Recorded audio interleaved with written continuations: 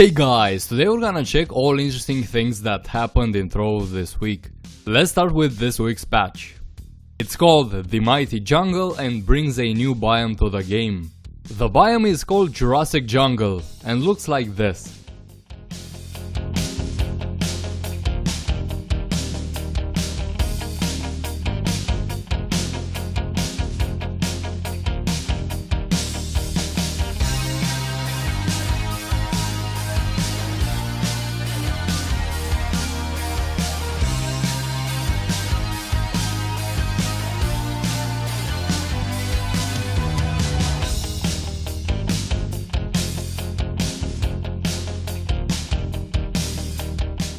This new biome also brings a variety of new dungeons. Check them out.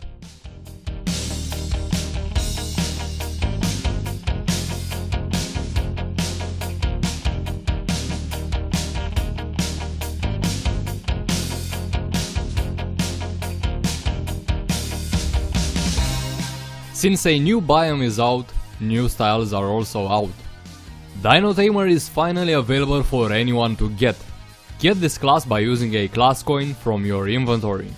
We got a new mount in the Chaos Chest rotation. Well, the mount itself is not new, but haven't seen it in uh, Chaos Chest rotation in a while. It's a red hellbug and it looks like this in game.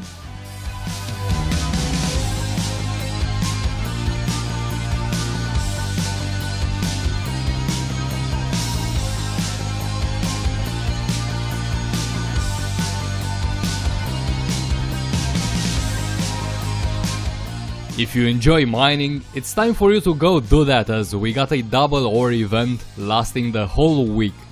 Players can now enable multi-threading support.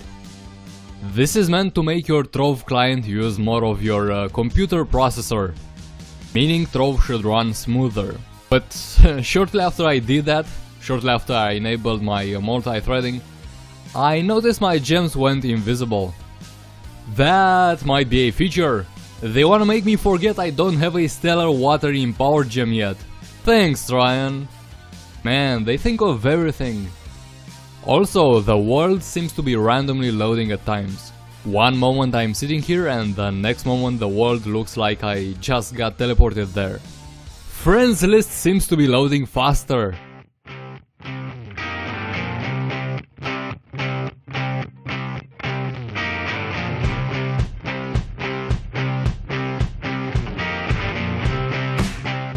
Or not. Another thing I noticed and they didn't seem to mention it in uh, patch notes. When you'll try to craft something and don't have enough of one resource, you'll show a red number. And if you do have enough of that resource, it'll show you a green number. Cool stuff. Let's move on to their weekly livestream. They had a word on a future ease of use regarding mods. We're also going to be the other relatively soon thing that's coming up. Um, will be on PTS hopefully in a couple weeks. Again, hopefully, um, is our in-game mod manager. So the ability to uh, view the mods you have loaded, um, turn them on and off. Um, we're simplifying how kind of mods are packaged and shared. Um, we want to make mods something more people can build, get access to, easier to share. Um, and that's all that caught my attention this week. Thank you very much for watching guys, I will see you on the next video.